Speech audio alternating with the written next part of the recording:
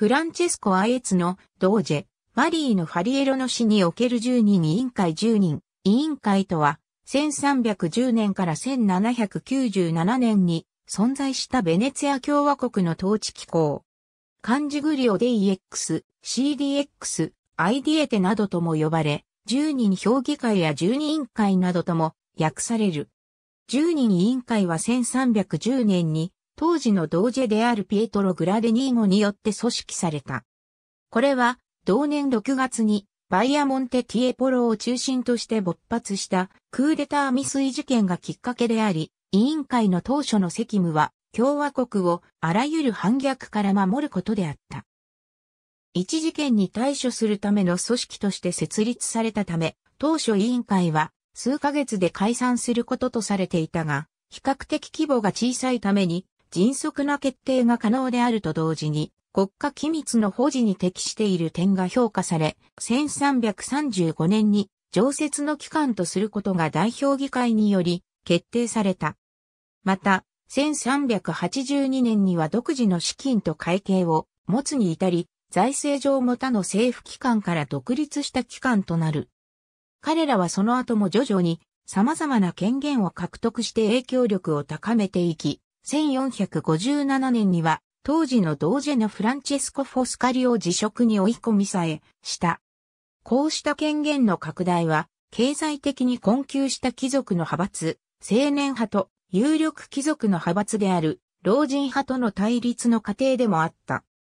すなわち、10人委員会等の要職を過当で支配している老人派が委員会の権力拡大を望み、代表議会などには議席を持つ者の同時や10人、委員会などの要職を得ることが難しい青年派は自分たちの権限が老人派によって奪われることを拒絶したのである。この対立は1582年に始まる10人委員会の改革にもつながっていく。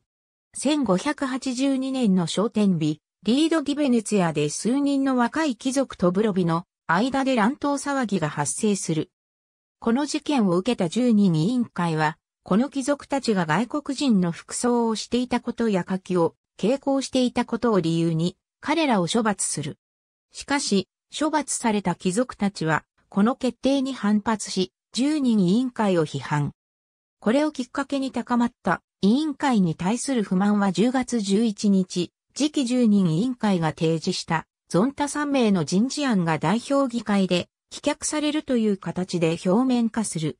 ここから10人委員会の権限縮小をめぐる混乱が始まることとなる。機能停止に陥っている委員会を正常化するため改めて提示されたゾンタの人事案が代表議会で全員却下されるなど、10人委員会への反発は強力であった。この改革は、老人派の拠点となっていた10人委員会の権限を制限し、政府内での青年派の優位を確立するためのものであったと言われる。1582年の改革により、権限が縮小されたとはいえ、10人委員会は、その後も共和国の国政を担う機関として機能し続けた。だが1797年5月、ナポレオン・ボナパルトの脅威にさらされたベネツィアが代表議会にて共和国そのものの幕を閉じる決議を採択すると、同時に10人委員会もその長い歴史の幕を閉じることとなった。1468年の法令では、反乱、陰謀や国家の平和を乱す、あらゆる行為などのほか、ソドミーに関する裁判、スクオーラ・グランデや初期局に関する問題を取り扱うとされていた。だが、10人委員会は時代を経るにつれ徐々にその権限を拡大し、後には秘密を守りつつ敏速に決定を下す必要ありとされた問題や重大裁判を審議することもその職掌とされ、共和国の諜報、防御用活動を統括する情報機関としても機能した。また、16世紀頃には新たな建築や既存の建築物の用途変更なども監督したほか、1508年12月29日以降は、喜劇、悲劇、巻き歌劇の上演許可業務も行っている。1692年6月10日には、共和国の歴史を印刷する際には、委員会の許可が必要となった。さらには、会場都市であるベネツィアにとってその存亡に直結する運河の管理を担当する水域専門官の任命権、本島の土壌が農耕に適さないために養殖とされる穀物専門官の任命権、国際通貨としてヨーロッパ各地やイスラム圏でも国際的な決算手段として用いられていたドゥカートを造幣する造幣局の統制権も獲得した。これらは元来元老院の権限であったものを10人、委員会が闘争の末に勝ち取ったものであり、1530年には元老院に提出される書簡を事前検閲する権限までもが与えられ、10人委員会は事実上元老院に優越する意思決定機関となった。他にも司法上の権限を40人委員会から市民層が就任する様々な官僚ポストの任命権を代表議会やシニョリーヤなどから奪取し、10人委員会は共和国の政治構造のトップに位置する機関へと変貌していった。このように10人委員会は事実上の最高意思決定機関でもあり、彼らの出した指示や命令は彼ら自身の決定以外によって覆されることはなかったとされる。そうした政策決定能力等から10人委員会が現代の内閣にあたるものであったとする研究者もいる。一時は国政を司るかのような強大な影響力を有した10人委員会だが、1582年の改革を機にその権限は大幅に縮小されることとなる。一旦、ゾンタにも正規委員と同様の再任禁止期間を設けることが決定されたが、最終的にはゾンタそのものが廃止された。さらに11月4日には、水域専門官や穀物専門官の任命権が元老院に移行された。また、1583年3月3日には、造兵局の統制権が元老院にあることが確認された。10人委員会は毎週水曜日に定例審議を行うとされ、何らかの事情で定例審議が開催できなかった場合でも最低週1回は審議を持つこととされた。また、定例審議以外にもシニョーリアによる指示があった場合や10人、委員会の議長が望んだ場合などには、緊急の審議が持たれた。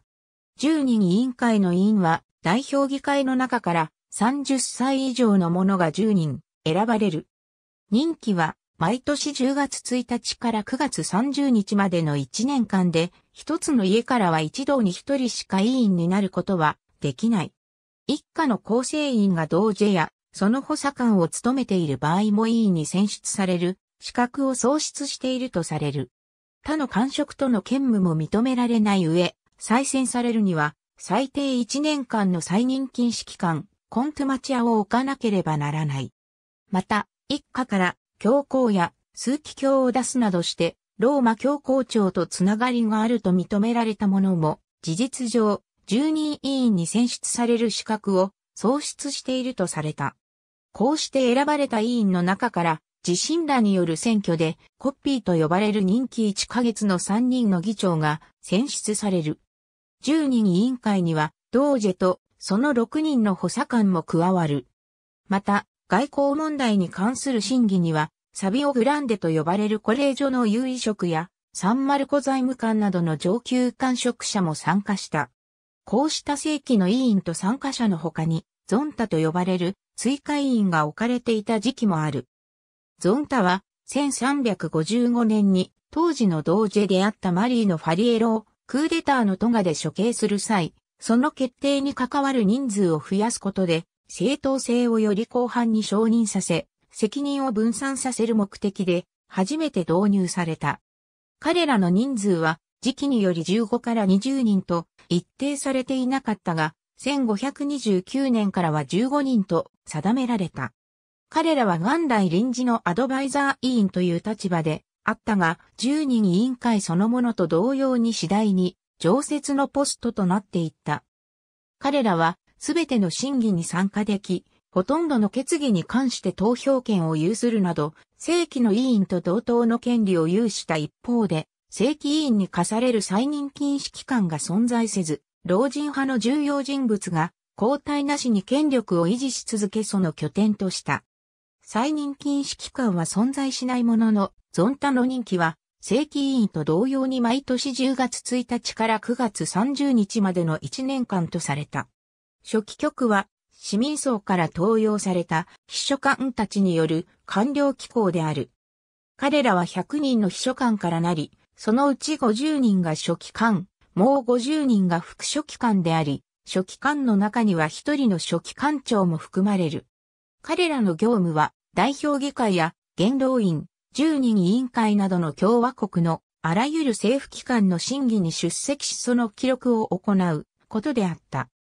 彼らは実務官僚として継続的に職務を行うために任期はなく終身雇用であったため、1年や半年で交代する貴族たちより機密事項に接する機会が多かった。